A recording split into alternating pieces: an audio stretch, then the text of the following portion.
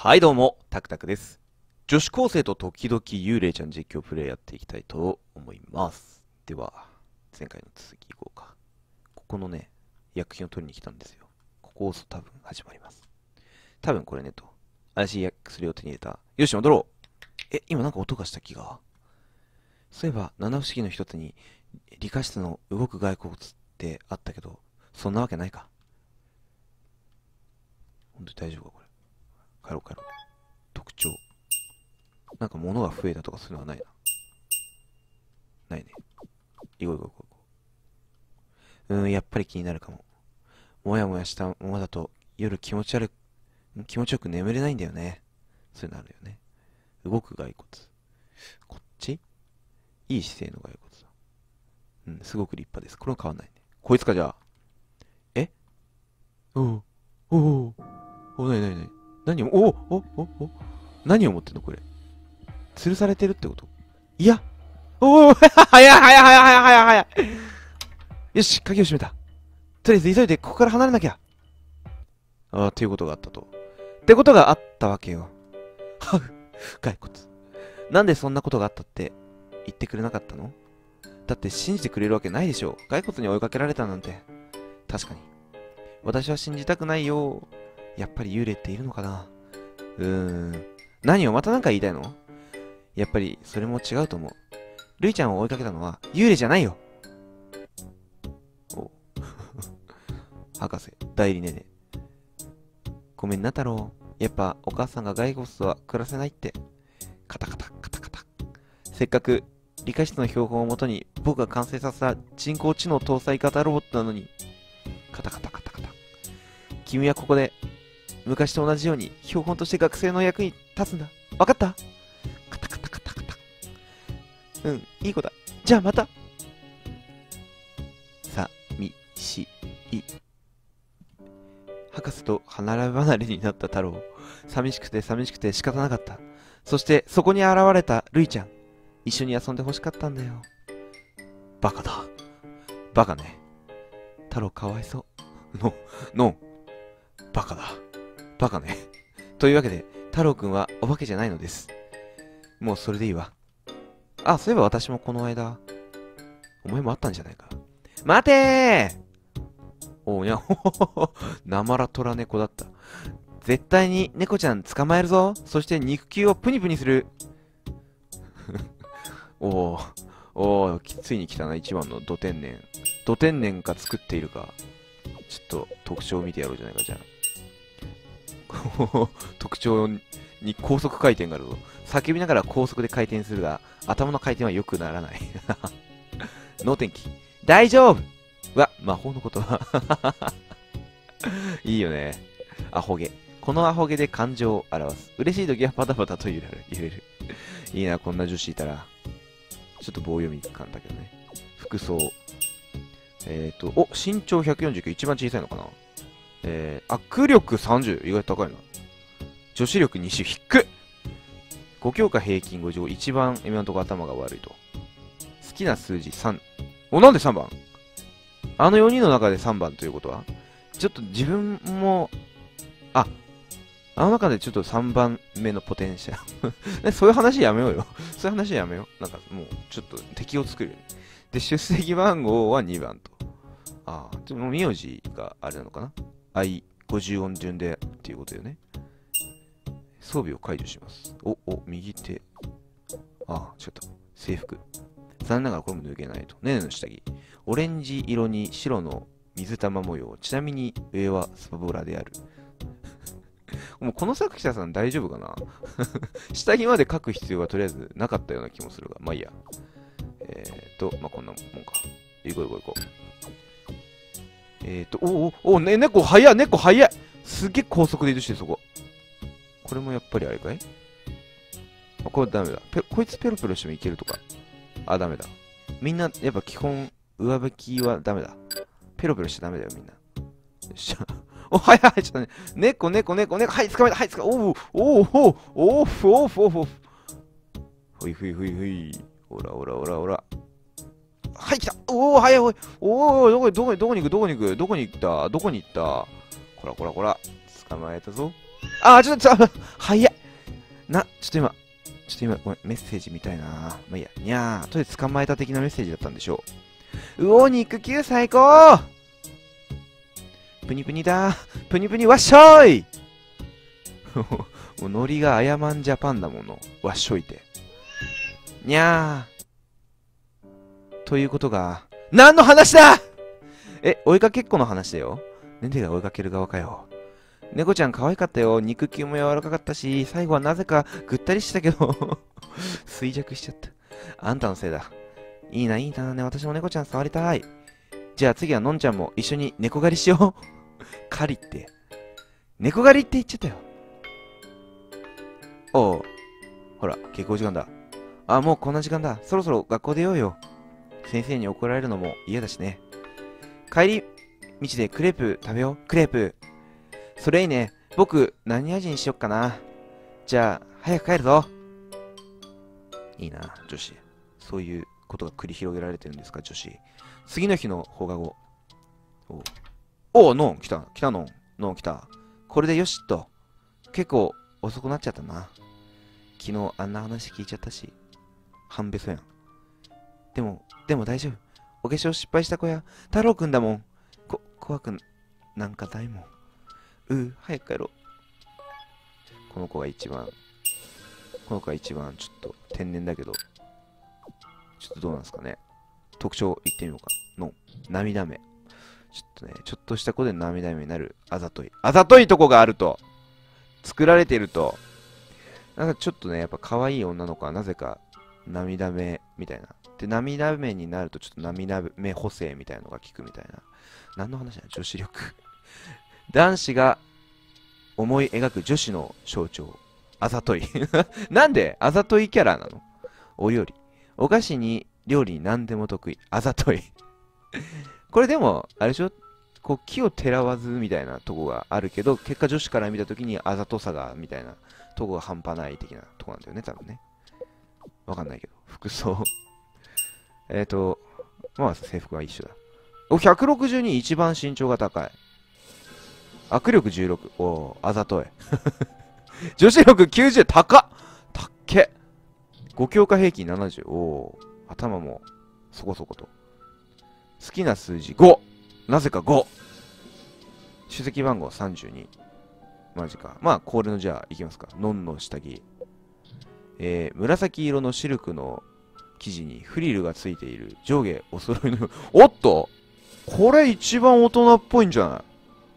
こう、可愛いい女子力を出しつつも、セクシーな、みたいな。ちょっとごめん。あんまりイメージできなかった。はい、行きましょう しょうもねえ。しょうもない話してすみませんでした。行くぞ帰ればいいのか？帰ればいいから、ちょっとこっちからの帰り道が一向にわからん。これ、これが下でいいんだ。おお、これが下だ。よし。下校しよう、下校しよう。脇目を振らずに下校しよう。よしよしよし。えこっちじゃないあ、あれあれこっちじゃないあ、これ、えちょ、あれごめん。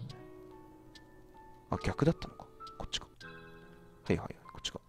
遅くなっちゃったから、お母さんにメールしとこう。えっと、携帯は、あれない。あ、物質で使ってそのままだ。通りに戻らなきゃ。なんていうドジっ子属性。あれピアノの音。お、これ聞いたことあるぞ、これ。これなんかの振りゲーでも使ってたな、これな。なんだっけな。え、なんだっけ。私、鍵閉めたはずなのに。音楽室のブギーな感じな人だよ、多分。音楽室こうだ。ちょっともう一回、もう一回セーブしよう。行くぜ。あれ？開いてる？おおお弾いてるよ。誰？ごめんなさい。誰か来るとは思わなくて。誰がいるとは思わなかったからびっくりしちゃったよ。ごめんなさい。ピアノ、上手だね。ありがとう。私、これくらいしか取り柄がないから。私なんて何も取り柄がないから、羨ましいよ。あざとい。でも、あなたにはお友達がいるわ。ねねちゃんたちのことかな。あれなんで知ってるの？たまに見てるから。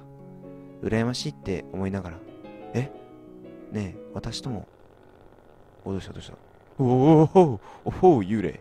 お友達になってくれるひピアノを弾く手はあるけど、足はないの。こんな私でもお友達になってくれるあ、いや、そうよね。なら、私と少し遊んで。そしたら返してあげる。本当ですかええ、私が出す謎々に答えられたらね。謎、謎。ガチ泣きしてる。おお、急に落ち着いた曲に。全部で3問。全部すごく簡単だから、答えられなかったら、その時は、知らないわ。でも私の謎々に答えられたら、必ず返してあげる。それは約束する。わかりました。じゃあ第1問。私は音楽が好き。ドレミファソラシ。このたった7つの音の組み合わせで素晴らしいメロディーが生まれるの。ちなみにあなた算数は好き？あんまり得意ではないです。6-4は ?2 です。そうね。じゃあ1引くと2になる音は何かしら？はぁ何それ ?2 択にして？頼む。2択にして。え、え？時間はたっぷりあるから分かったら教えて。問題を忘れたらまた教えてあげる。え？ちょっと待って。どういうことですか？意味が分かりませんでした。いや、ちょっと問題、問題を聞きたい。6-4は2。うん。うんうん。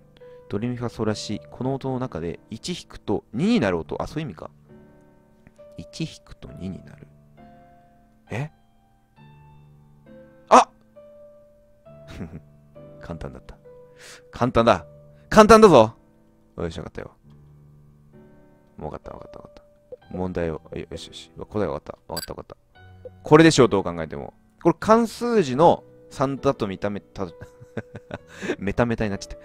えー、み、えー、見立てた時に、一本引けば2になりますよね。じゃあこれですよ。はい。正解ね。これ簡単だった。はいはい、同じことですね。みから線を1本引くと2になると。簡単よね。これ簡単でした。じゃあ次の謎謎ね。ドレミファソラシこの音の中に、水の中に入れちゃうと生き物になっちゃう音があるの。さあ、それはどれかしら。水の中に入れちゃうと。えちょっと。水の中に入れると生物になる音？え？水の中だよ。水の中だから。あ、みと図の間にとかっていう。ああ、あははい。おいそういう意味ね。そういう意味ね。み、水、水の中だから、でも興奮して、ちゃん、ちょっと興奮しすぎだから。興奮しすぎた。しすぎたった。よし。水の中だから、みと図の中に言葉を入れればいいと。つまりこれも簡単ですよ。お音を水の中に入れるって素敵ね。はい。この、じゃあ、みですよ。み、水、みと図の間、み水ですよ。ほら。ほら、来たー来た来た来た、これ、はい。水の中にみを入れたら、み水よね。これも簡単だったでしょ。次で最後の夏なんですよ。すごいテンション上がったけど、簡単だったでしょって言われちゃった。これ簡単だったのか。ちょ自分のバカさ加減にがっかりしたぜ。ドレミファソラシ。自分より上と合わさることで、とても広くなれる音って何かしら。でも本当は何もないのかもしれないけどね。は？ちょっと待って。ちょ、もう一回聞きたい。ドレミはそうらしい。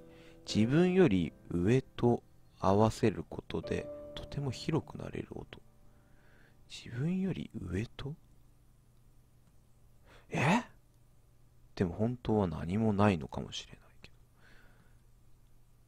ちょっと待って。この中で自分より上のものと合わせると広くなれる。え？あわかった。わかったわかったわかった。これはですね、答えはラですよ。ラの、ラの上は、ソだから、これ合わせると空になるじゃないですか。なんでこれラですよ、答えは。いや、ちょっと待って。いくよ。せーの。はい。え、違うおおい。おい。あ、逆か？あ？え？あれ？ちょっと待って。ここからかよ。ここからか。え、自分より？え、絶対答え合ってると思ったんだけどな。ちょっと待って。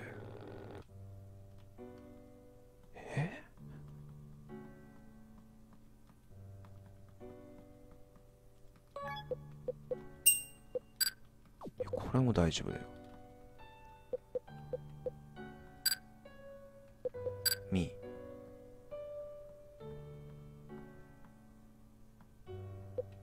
これみ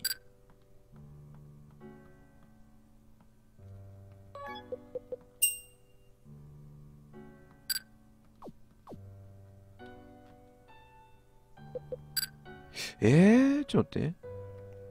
自分より上と合わさることで、えーとても広くなれる音って、何かしら？あ あ、あードレミファソラだから、ソが正解だ。ソの上がラだから。あ、わかりました、わかりました。ちょっと逆だったん、逆だったんですよ。これそうですよ、そう。いきますよ。そう正解やったーったよ ソより高いラのラと合わせる。もうね、ちょっとね、意味が分かってませんでしたね。空になれるはね。でも、空って空とも読めるわ。繋がっていると思っているのは自分だけってそこには何もないのかも。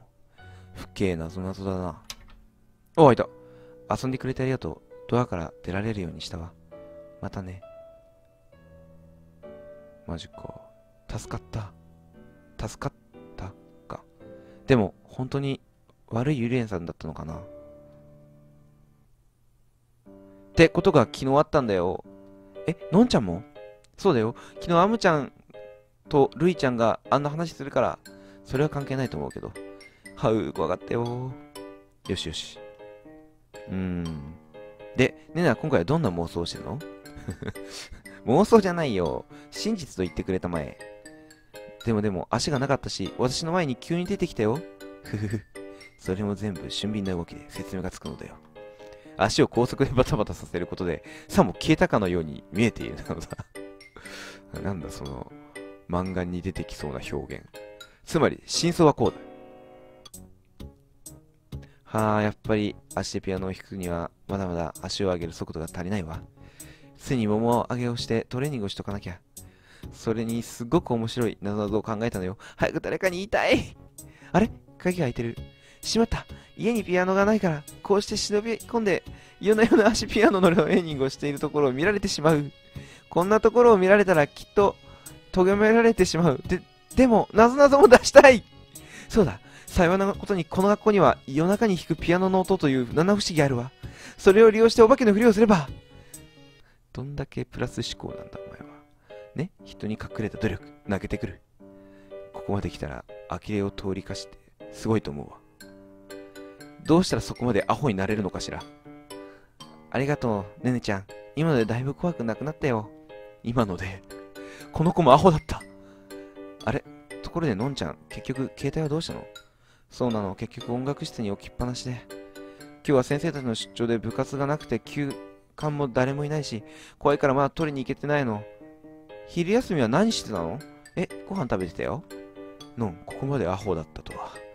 じゃあ今からみんなでのんちゃんの携帯を取りに行こう本当？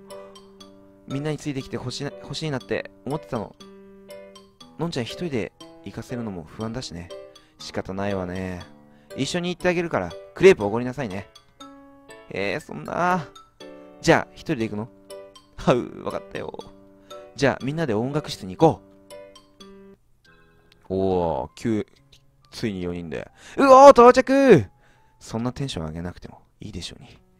いやー、誰もいない休校舎ってなんかワクワクするね。そうか？それに、私帰宅部だから、放課後ここに来ることないんだよ。確かに、普段あんまり行かない場所って少しワクワクするよね。るいちゃん、そんなもん。私は別にそんなことないけど。え、それ人として間違ってるよ。お前、基準って考えるな。あ、お前基準で考えるなか。お前基準で考えるな。ねねの方が特殊だからな。むー。そんなことよりさっさと行くわよ。の、鍵は持ってる大丈夫だよ。ここに。えっと、ここに。あれ？あえ、なくしたの？ち、違うよ。ただ、部活用のカバンに入れっぱなしだ。入れっぱなしなだけだよ。ないことに変わらないのよ。変わらないのね。どうする？鍵がないんじゃ音楽室に入れないじゃない。大丈夫、大丈夫。待機室に行けば各教室の鍵があるから。待機室？主に休館で授業をする先生が待機している場所だよ。旧職員室だったところ。じゃあ、まずはそこで鍵を借りましょう。おおおおみんな、それぞれ別行動じゃん。ねねが、ねねが主人公みたいな位置づけなのかな？といったところで、今回はこの辺で一旦切りたいと思います。次回は4人で探索していきますよ。ではまた次回ご覧ください。ではまた。